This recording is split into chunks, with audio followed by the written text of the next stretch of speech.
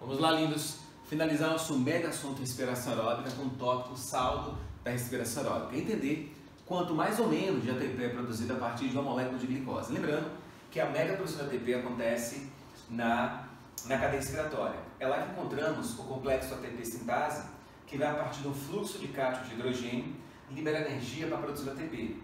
É chamado de fosforilação oxidativa, porque essa fosforilação depende de energia que vem do sistema complexo de de oxidações. Tranquilo? E alguns autores chamam também esse princípio de princípio quimiosmótico, porque se lembra muito a osmose, mas nesse caso é de cátions de hidrogênio. Então, fazendo uma referência chamada de princípio quimiosmótico, que é quando os hidrogênios, os cátions, saem do meio mais concentrado para o menos concentrado, garantindo que a, o complexo ATP sintase mude sua conformação, liberando a energia necessária né, e suficiente para produzir ATP, Tranquilo? O lance é, quanto mais hidrogênios passarem pela ATP sintase, mais ATP é produzido. Então, qual é a lógica?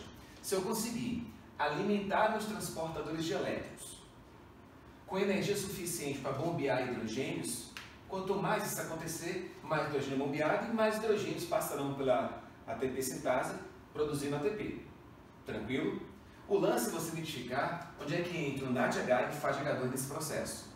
Olhe bem, o NADH ele transportou hidrogênios elétrons da glicose, da oxidação do piruvato e do ciclo de Krebs para aqui, né? para a cadeia respiratória. Só que ele consegue liberar elétron para o primeiro receptor